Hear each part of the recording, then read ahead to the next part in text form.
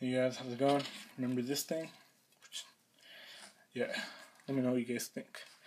Uh, I got a new video. Um, I think I never made this video. Should have.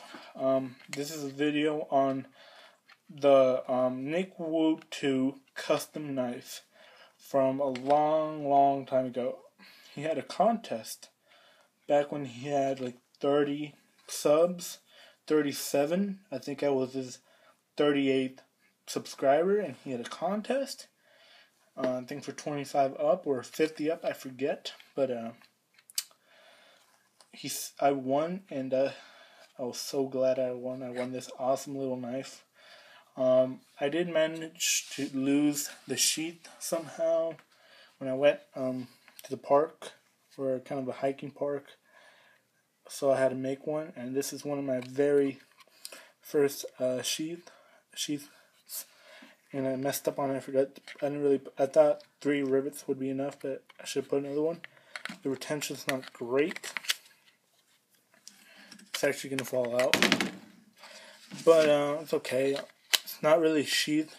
I would say it's more of a just a case so when I put it away it's not to get scratched and it'll be fine in your pocket so yeah but let's go over it um, I did refinish it because I started to get some rust on it a while ago after testing it a lot. But um, it's mostly all original. It just did a nice little polishing on the G10 it, it came great from from Nick.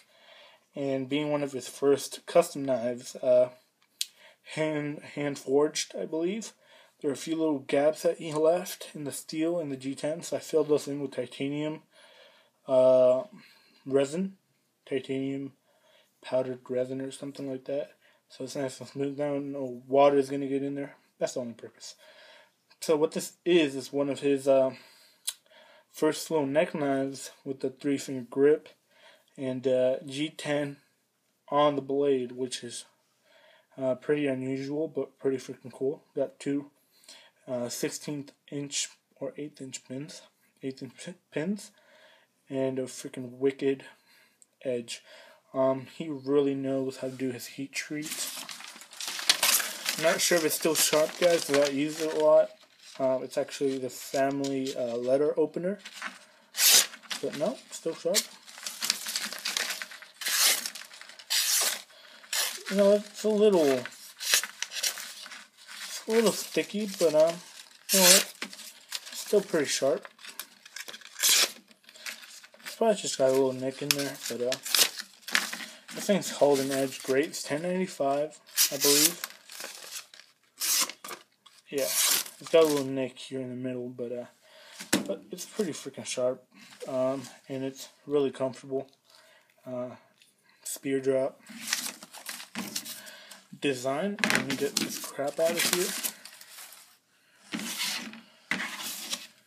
Yeah, so spear drop, shape, uh, full high convex, which I convexed it. I think it came high, full high convex, I forget. But uh, as you can see, a really nice black G10. And uh, this thing's great. Like I said, the family letter opener. And it gets, it gets used quite a bit. You can see it's pretty scratched up on the blade. And I think he used titanium resin too, because look, it's gray around the edges, but uh, I did the titanium too. Um, I mean, it's not a super freaking big chopper knife. It's a really, really nice little neck knife, and I think he's making some production knives now, which are pr pretty cool. Seen them. Sadly, I couldn't comment on the video because I can't with the mobile.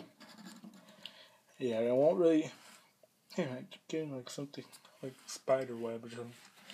Um, see, it bites into wood, but this is it's a really small knife, so it shouldn't really bite in really deep. And you can hear that this thing's freaking solid as heck. Yeah, I don't think I have any softer wood. That wood's incredibly freaking hard. Here's my first ever knife handle. That's not even a knife, it's a practice handle. I wanted to learn how to do the Enzo pattern. It's the first time I ever did it. Um, came out pretty freaking good, but it's not really comfortable for uh, with a thumb ramp. It's really only comfortable like that. But this is my original handle shape. I'll make a video on that later. It's a good talk. Alright. Oh yeah, but I was gonna just cut this. Spicing pretty well. I mean, it's a thick, thick blade. Look at that. It's pretty thick, including that G10. So it's really not meant to cut uh, wood. It's meant to cut paper and stuff, you know, small small things. Um, string on your shirt.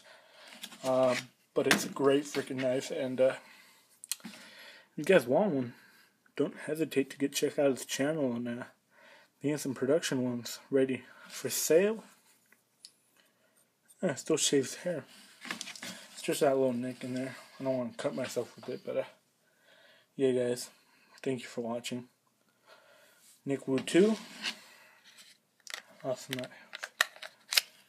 Alright, what was this uh, outro? Um, have a good day, guys. Nickwoo2. It's Nickwoo2, how do you do at the beginning, and then, yeah, I don't remember that, but, uh, yeah, guys, Nick 2, custom knife. Let me know guys, what you guys think. Pretty freaking sweet. Alright, guys, take care. I'll see you guys next video. Take care. Later.